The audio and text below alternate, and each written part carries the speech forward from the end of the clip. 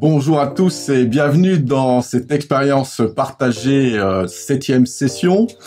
J'accueille aujourd'hui euh, Cédric, Cédric Travers, Cédric Travers qui est euh, blessé de guerre. Il nous parlera de son parcours, mais il nous parlera aussi de, de son combat face au syndrome post-traumatique. Vous n'êtes pas sans savoir maintenant au nombre de posts que j'ai pu faire cette semaine sur LinkedIn et sur Facebook que ce mal invisible touche un Français sur dix.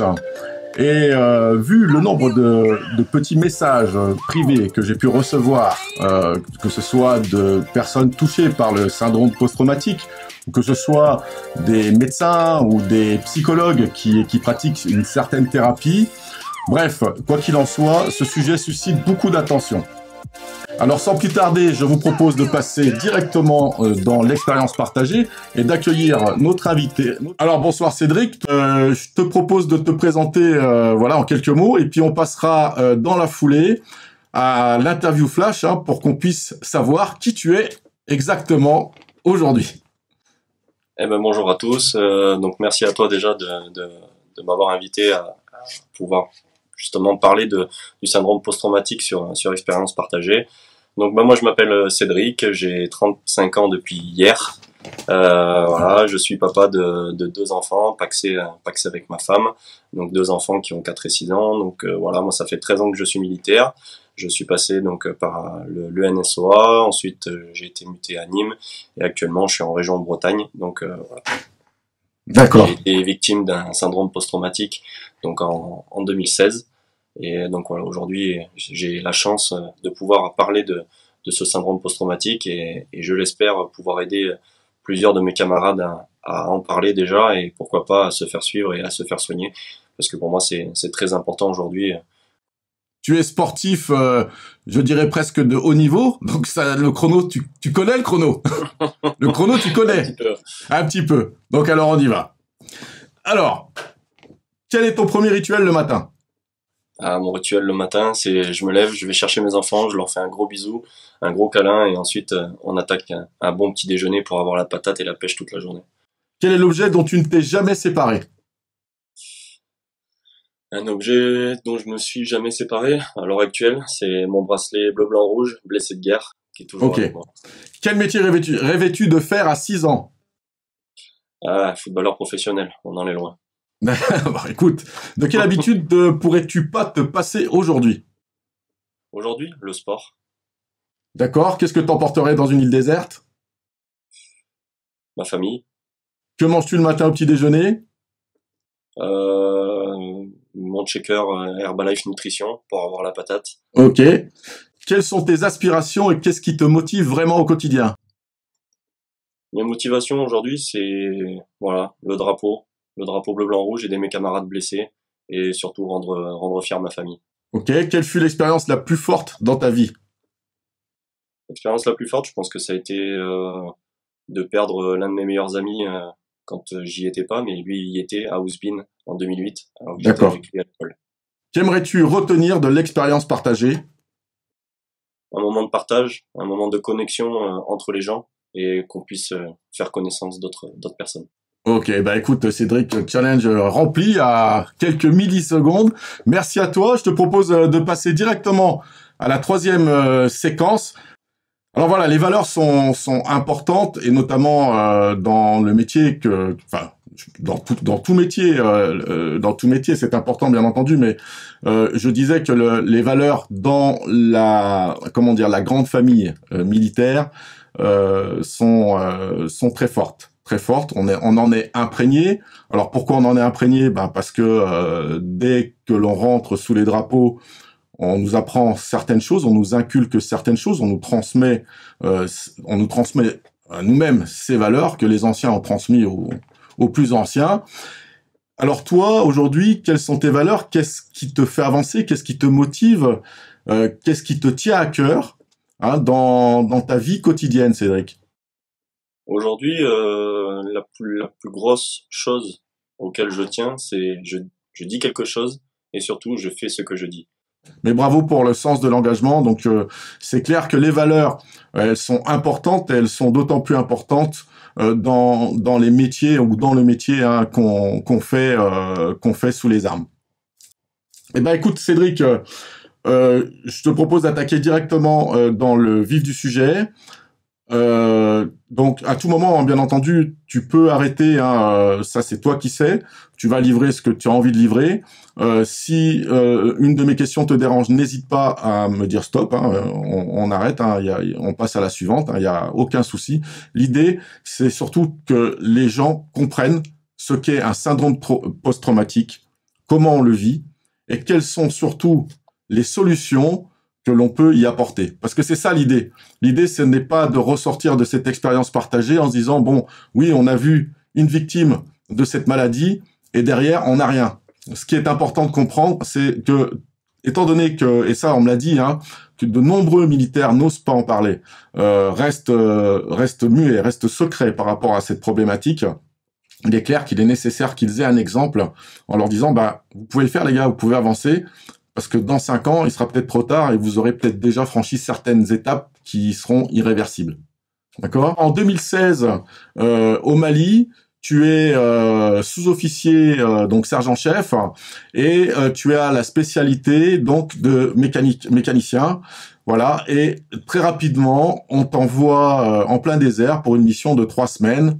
Et là, c'est, euh, je sais pas comment toi tu vas le, mettre les mots sur sur le sujet, mais euh, si je devais y mettre un mot, voilà, c'est le départ de ce qui va t'accompagner, enfin, ce qui t'accompagne encore jusqu'à maintenant. Tout à fait. Donc euh, voilà, en 2000, donc 2016, j'apprends que à la base, je dois partir au Tchad. Et donc du coup, au dernier moment, je ne, je ne pars plus au Tchad, mais je pars au Mali. Donc euh, la préparation n'était n'était pas du tout la, la même. Hein, donc il faut bien savoir qu'on se prépare euh, particulièrement pour une mission par rapport à un théâtre bien particulier. Donc là, du coup, au dernier moment, je suis parti donc au, au Mali. Et donc arrivé euh, au Mali, donc de à peine trois jours arrivé, on me dit ok, tu as 24 heures pour préparer ton camion tu es spécialiste grutier pour soulever les camions pour pouvoir justement on soulève l'engin et ensuite eh ben on peut changer les roues si on a une pièce à, échanger etc. À partir de là donc euh, je pars et commence en fait euh, bah, la pression la pression monte parce que la méconnaissance de certains matériels sur lesquels je vais travailler euh, qu'est-ce que qu'est-ce qu'on va découvrir qu'est-ce qui va se passer comment c'est le désert c'était la première fois que je voyais le désert, donc euh, qu'est-ce qui va se passer? Donc des véhicules qui passent à droite, à gauche, on sait pas trop, euh, voilà comment réagir, etc. Et voilà, la pression augmente, augmente, augmente, et au bout d'une semaine et demie, on arrive donc sur le point qu'on devait rallier pour aller ravitailler nos camarades. Et là, ben voilà, je, en gros, mon cerveau explose. Je, je fais comme un, un burn-out. Donc euh, du coup, euh, je je sais plus où je suis, je sais plus ce que je dois faire, je suis complètement désorienté. Et là, en fait, je pense qu'à une chose, euh, ben c'est de de savoir comment je vais faire pour rentrer. Et deux deux options s'offrent à moi. Je suis mécanicien, j'ai devant moi le moteur du du, du VAB, véhicule de l'avant blindé. Et en fait, je vois les courroies tourner. Et je me dis si je mets mes doigts dans les courroies, je me blesse et je vais pouvoir rentrer c'était voilà, je savais pas du tout comment je pouvais parler de ça à un médecin, etc., de ce qui m'arrivait. Et donc, euh, du coup, je me dis, je vais faire ça, et en fait, je m'aperçois que ben, j'ai un enfant qui a à peine un an, donc je me dis que si je fais ça, je pourrais plus jamais le porter, et donc du coup, euh, je pourrais pas le porter correctement, donc euh, du coup, je dis, ben ok, je vais prendre mon arme et je vais la retourner contre moi, je vais me tirer dans la jambe, et en fait, du coup, je décide au dernier moment de, de ne pas faire cette action, et je, décide d'appeler donc ma femme en pleurs un soir en lui disant que ben voilà je suis en train de je suis en train de fissurer complet. Et euh, au, au, moment où, tu décides de passer à, des actes ultimes, parce que euh, décider de mettre fin à ces jours, c'est quand même quelque chose de très compliqué, euh, malgré que voilà, ça peut arriver à n'importe qui. Qu'est-ce qu'est-ce qui t'empêche à ce moment-là de le faire? Je le fais en fait par rapport à mon à mes enfants. Je fais surtout par, enfin mon, mon deuxième n'était pas encore né. Il est né pendant ma deuxième mission au, Mali euh, l'année suivante. Et du coup, euh, je me dis que mon fils, si je fais ça, ben si je me tire une balle dans le pied, est-ce que je vais pas détruire ma jambe? Est-ce que bon, aujourd'hui, je ne connaissais pas de, voilà le handisport, tout ça. Je, je c'est vrai que je m'étais jamais arrêté dessus. Donc aujourd'hui, bon voilà, on fait des il y a des prothèses, etc. Mais en fait, moi, dans mon idée, c'est si je me tire une balle dans la jambe, ben comment je fais pour euh, ben, pour tenir sur mes deux jambes et pouvoir tenir mon fils dans les bras? Comment je vais faire à l'avenir pour euh, ben, pour jouer avec lui? Comment? Et en fait, c'est des choses en fait qui qui m'ont dit non, mais fais pas cette bêtise. Il faut que t'en parles. Et en fait, ben voilà, j'ai appelé ma femme en pleurs. Donc ben, du coup, tu te retrouves dans cette situation là il y a forcément à un moment donné, il va falloir aller chercher les forces, il va, falloir les puiser hein, au fond de soi. Alors oui, euh, à l'armée, on est mis, euh, euh, je veux dire, très souvent à contribution euh, par rapport à notre résilience. Euh, c'est vrai, à travers les, les différents exercices d'entraînement qu'on peut avoir avant de partir en opération extérieure. Mais toi, à ce moment-là, qu'est-ce qui te ramène en fait à la je vais pas dire à la vie, mais qu'est-ce qui te ramène à la réalité en disant non, je, dois me battre, je dois avancer malgré les événements? Ben Là, à l'instant T, c'était surtout ben, ma femme, mon fils, euh, mon père, mon père, mon père qui était un ancien militaire, même spécialité que moi, euh, qui est parti en opération extérieure, mais qui a été sur des territoires, on va dire, un, petit peu moins engagés. Euh, donc du coup, forcément, je me dis, je peux pas décevoir ces, ces gens qui croient en moi et je, je veux les rendre fiers. Euh, je me suis engagé pour pour ça. J'ai mon, mon voilà mon camarade Anthony Rivière qui est qui est qui est décédé en 2008 à Ousbin et donc du coup bah voilà je me dis je dois me battre pour pour pour ces gens-là parce que ben, je je peux pas tomber je peux pas tomber comme ça. Euh, mmh. Il y a des gens, euh, voilà, on, compte sur moi aussi derrière, donc donc voilà, c'est ça qui me ramène un petit peu avant de bah, de subir. subir le. Et après sur voilà sur le sur le camp, on a été attaqué. voilà, trois véhicules suicide bombers ont attaqué le, le camp de qui était euh, accolé, donc le camp d'Alminusma qui était accolé euh, au camp de Gao. Donc bah du coup voilà, des, des attaques incessantes, euh, des, des alertes la nuit euh, de, de, de, tirs fictifs et de tirs réels de, de roquettes. Donc en fait bah, tout ça, tout ça fait qu'on on dort plus et le seul, la seule chose que j'avais trouvé pour pouvoir dormir, c'était d'aller deux heures à deux heures, même voire des fois trois heures de, de sport à la salle et je me mettais minable et comme ça je savais que ben tant pis si je dormais que 3 heures, bah, c'était au moins 3 heures de sommeil. Donc mmh. euh, voilà, et au moins je pouvais dormir, euh, je pensais à rien pendant 3 heures. Voilà où j'en étais rendu. Donc le, le sport euh, quelque part t'a permis de, de, de, commencer, enfin je vais pas dire de, mais surtout de compenser hein, ce, ce, ce, syndrome qui s'installait euh, sur le théâtre déjà en toi. Des conséquences, parce que tu vas rentrer, tu vas rentrer de ta mission, et euh, progressivement, tu as ton épouse, euh, les gens qui t'entourent, tes enfants vont commencer à constater que tu as changé et qu'il y a des conséquences euh, sur euh, ta, ta façon d'être, ta façon de te comporter, euh, ta façon de vivre. Et là, il y a le doute s'installe dans ton couple et on te pose un ultimatum. C'est ça. Donc eh ben ma femme euh, donc constate euh, donc elle voilà, elle savait ce qui s'était passé. Donc euh, forcément je l'avais averti sur sur le territoire. Et donc là je rentre. Et euh, pardon. Et en fait ben c'est compliqué parce que en fait elle s'aperçoit que j'ai changé que je fais des excès de colère envers mes enfants voilà, je, je suis, je suis pas quelqu'un de, de, violent, je l'ai, je l'ai jamais été, mais disons que quand je mettais une fessée, euh, la fessée était des fois quadruplée, quoi. Donc, euh, donc en fait, c'était, c'était des excès de violence. Euh, je parlais mal, que ce soit à ma femme, que ce soit voilà ma famille.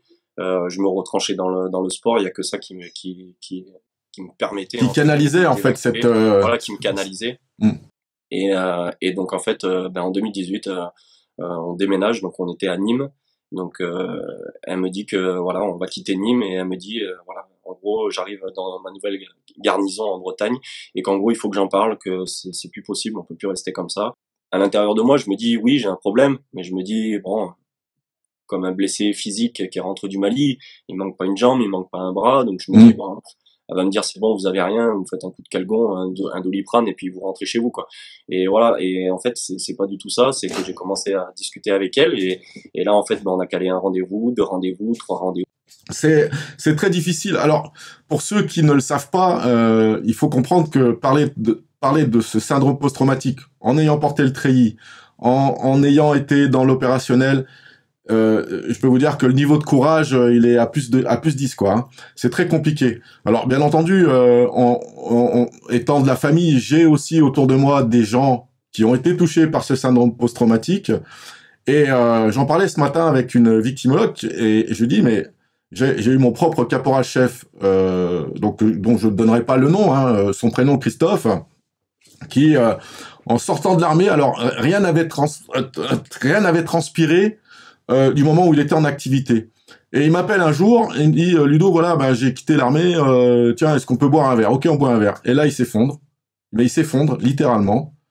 Et j'apprends euh, lorsque je poste, en fait, bon, on en discute à ce moment-là, et j'apprends là lorsque je commence l'initiative expérience partagée avec toi, Cédric, euh, je reçois un message de sa femme qui me remercie de mettre ça sur la table, d'en parler, parce qu'effectivement, ça fait trois ans qu'elle vit un calvaire, euh, quelque chose de difficile, et de voir son homme qui est un, un mec tellement extraordinaire. Euh, se, se, se, rendre malheureux, euh, pleurer, avoir peur, enfin bref, tous les symptômes que l'on peut connaître, eh ben ça ça impacte ça impacte leur vie quotidienne quoi hein. c'est c'est euh, c'est un c'est un cauchemar. On alors il y, a, y a une euh, question qui t'est adressée euh, Cédric. Je sais pas si tu la vois toi à l'écran parce que tu t'es en téléphone mais quel soutien avez-vous reçu de la part de vos compagnons et de votre commandement? Euh, ben justement de le soutien de, de mon commandement ça a été très compliqué parce que je me suis dit si jamais j'en parle euh, ben, comment ça va se passer pour moi? Est-ce que je vais pouvoir continuer? Comment va être le jugement des uns et des autres? Et donc du coup, je, décide euh, d'en parler, voilà, la première fois à, mon chef de section, m'a aiguillé en disant faut aller en parler un peu plus haut.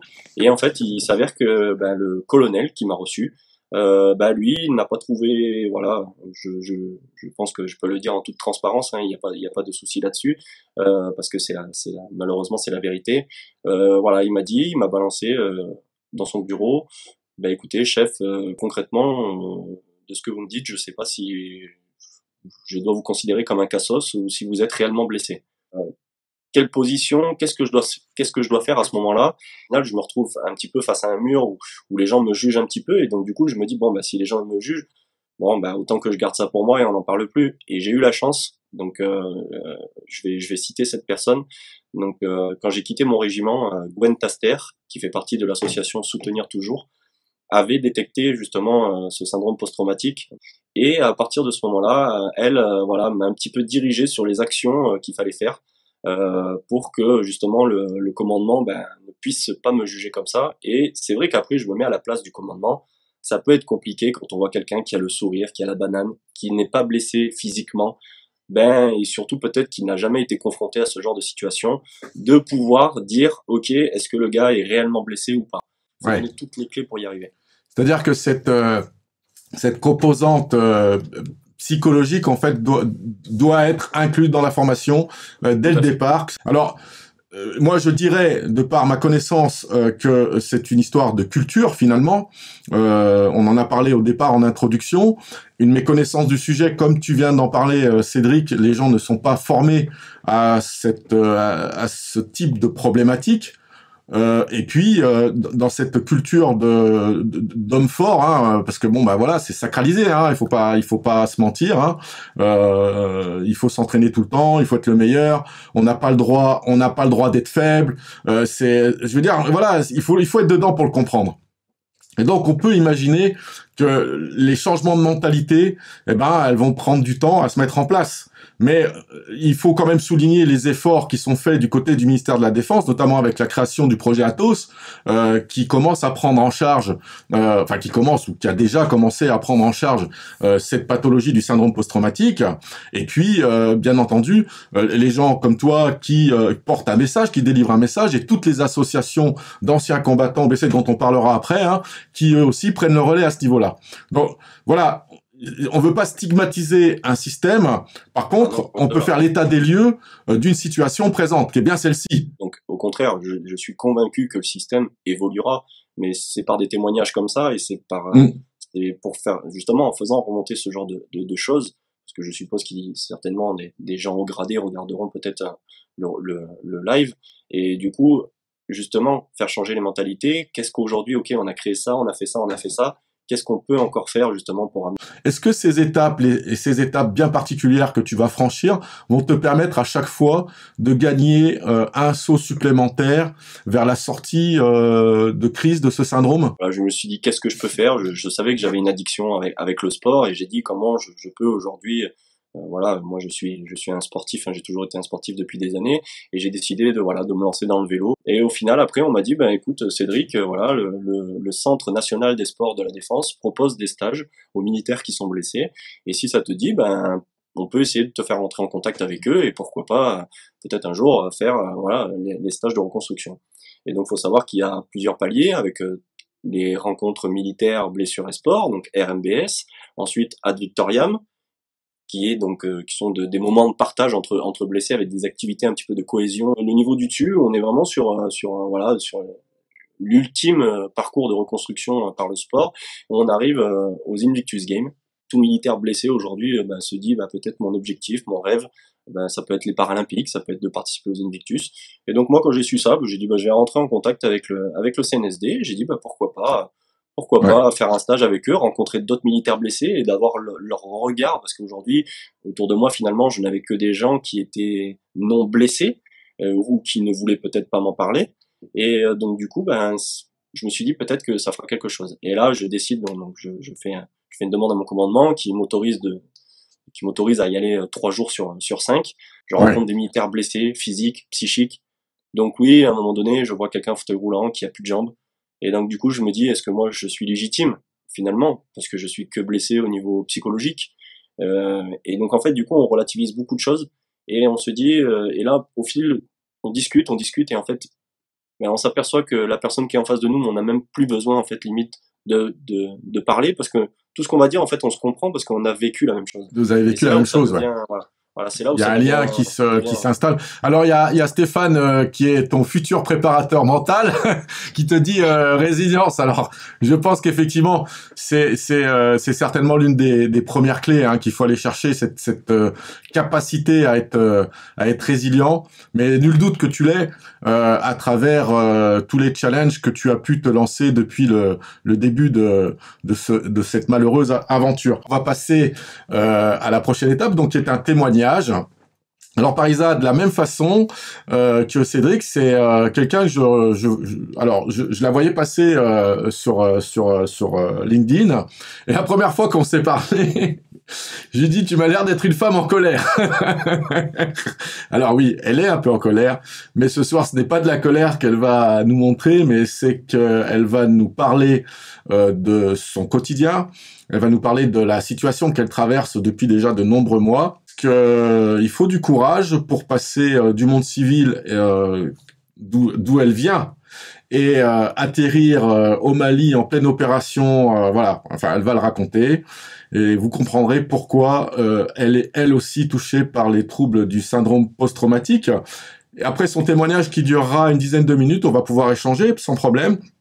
On parlera aux solutions, on parlera des solutions qui sont euh, qui sont mises en place et notamment à travers des associations hein, dont on a parlé tout à l'heure, mais aussi euh, des solutions euh, médicales qui existent hein, et dont beaucoup ne, voilà ne sont ne sont pas au courant. Hein. On y va tout de suite et on passe à la prochaine séquence qui est donc le témoignage bonsoir Ludovic, bonsoir Cédric, bonsoir aux auditeurs. Euh, tout d'abord, ben, merci à Cédric pour son témoignage, son parcours de vie. J'ai pu me reconnaître dans beaucoup euh, de passages de ton témoignage, ce que tu as vécu, ce que ta famille a vécu, ce que tu vis avec tes enfants, euh, le parcours du combattant. Euh, très difficile pour euh, faire admettre déjà par l'institution que l'on souffre. Voilà. Alors, euh, Parisa, toi, ton parcours est un petit peu particulier parce que tu es euh, infirmière urgentiste, euh, rompue à de nombreuses euh, techniques. Bon, voilà, dont je, je, je, ne connais pas du tout hein, les, les, termes, je ne, donc je ne les citerai pas. Quoi qu'il en soit, dans ton parcours de vie, tu vas effectuer de la réserve militaire et cette réserve militaire va te conduire euh, en ce qu'on appelle, on l'a dit au départ, en opération extérieure et tu vas te retrouver au Mali. Et au Mali, qu'est-ce qui t'arrive exactement à ce moment-là?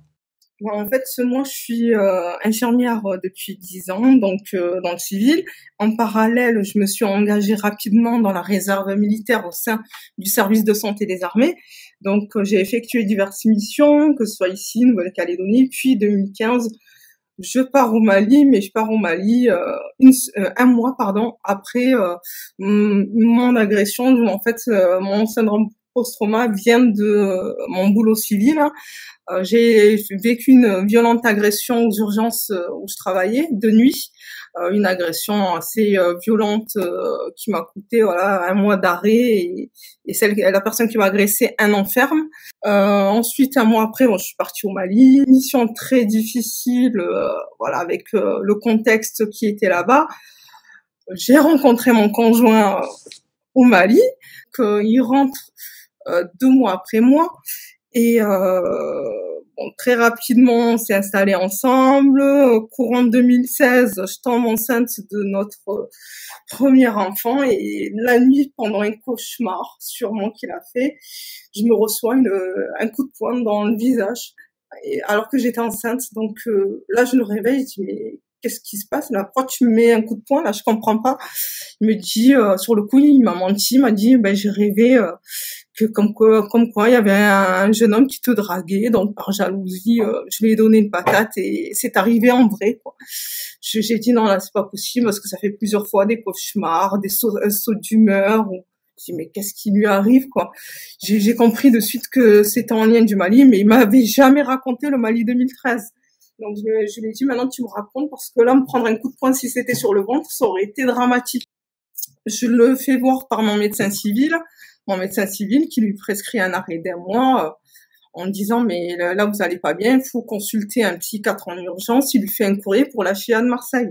Entre temps, il se fait radier des contrôles de l'armée, bien sûr, avec son syndrome post-trauma lâché dans la nature, livré à lui-même.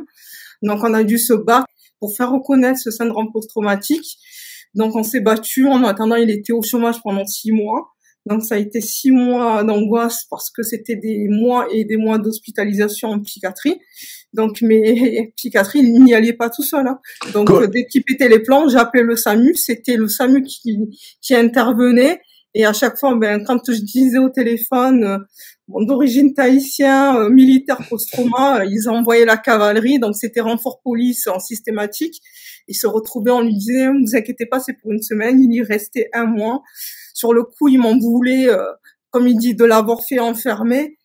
Mais aujourd'hui, il reconnaît que c'était pour son bien, que mm. s'il en est là, c'est parce que j'étais là et que sinon, il, lui-même était dans le déni de sa pathologie. Donc, euh, c'est ça, la difficulté, la complexité du syndrome post-trauma, c'est que la personne elle-même ne sait pas qu'elle est malade. Donc, euh, ouais.